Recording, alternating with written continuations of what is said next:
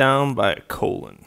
okay, that's what was missing right here. This stupid little colon. All right, now uh, this is how it works. So file save.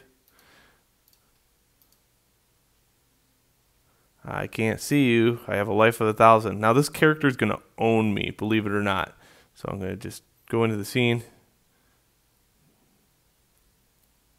But I have the ability to jump, so I can jump up. Maybe I can get on top of him real quickly, and I got a life of eight. And there we go. I'm dead. All right. So now, uh, in the next section of videos, we look at death sequences. What happens when we die? and then maybe we can get back to the actual uh, little soldier character and start putting all these cool new fancy scripts on him that make more sense. All right, so that's it for this section of the videos.